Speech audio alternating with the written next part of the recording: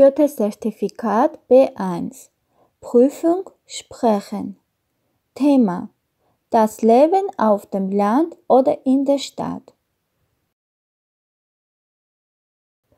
Was denken Sie? Besser das Leben auf dem Land oder in der Stadt? Das Thema meiner Präsentation ist das Leben auf dem Land oder in der Stadt. Meine Präsentation besteht aus folgenden Teilen. Zuerst möchte ich Ihnen von meinen persönlichen Erfahrungen erzählen. Danach beschreibe ich die Situation in meinem Heimatland. Dann möchte ich über Vor- und Nachteile sprechen. Zum Schluss sage ich meine Meinung. Viele Menschen müssen im Leben eine wichtige Entscheidung treffen, wo sie in Zukunft leben werden. Oft kann man das Leben auf dem Lande oder in der Stadt wählen. Jetzt geht es um meine persönlichen Erfahrungen. Ich wohne am liebsten in der Stadt. Wichtig sind für mich gute Nähe-Einkaufsmöglichkeiten, kurze Wege zur Arbeit, ein attraktives Freizeitangebot, Kultur und Leben auf der Straße. Ich wohne mit meinem Mann mitten in der Stadt. Jetzt würde ich gerne über die Situation in Armenien sprechen. In meinem Heimatland wohnen am liebsten in der Stadt, wegen kurzer Wege und guter Einkaufsmöglichkeiten. Nun erwähne ich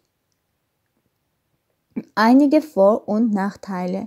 Vorteile. Stadt. In der Innenstadt ist alles zu Fuß zu erreichen und es gibt viele gute Einkaufsmöglichkeiten. Die Wege zur Arbeit sind kurzer. Die Jugendlichen können ihre Freizeit interessant verbringen. Wenn die Kinder mal größer werden, Gehen Sie vielleicht mal gerne in der Disco oder ins Kino. Interessantes Nachtleben. Land. Die Luft ist sauberer als in der Stadt. Es gibt wenig Lärm.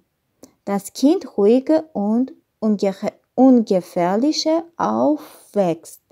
Viele Ruhe, frische Luft, mehr Platz für Kinder und billige Mieten. Nachteile. Stadt.